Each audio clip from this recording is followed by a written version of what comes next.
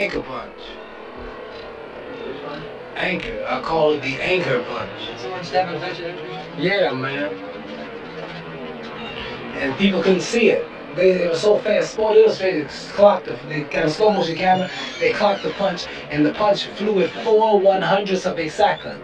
You can break a second down to 100 pieces. You know how people want a ski race, they see 1 in 16 100s, and 1 in 32 100ths of a second. So you can break a second down to 100 pieces. So, you know, so, yeah, it's quick. So 4 100, they got a machine that goes like real quick, and it counts real quick, you know, real quick. And by the time that thing hit 4, that's how quick, from the time the punch started to the where it landed, it was 4 one hundredths of a second, which is an eye blink. Like a camera flash, that's 4 hundredths of a second. Now, the minute I hit Sonny Liston, all of those people blinked at that moment. That's why they didn't see that. I swear. Now, if you watch the film close, you gotta, oh yes. but keep looking about that. When I said, all right, I'm getting ready to hit him, you can't just, you got to hold your eyes and wait, you won't see it, man.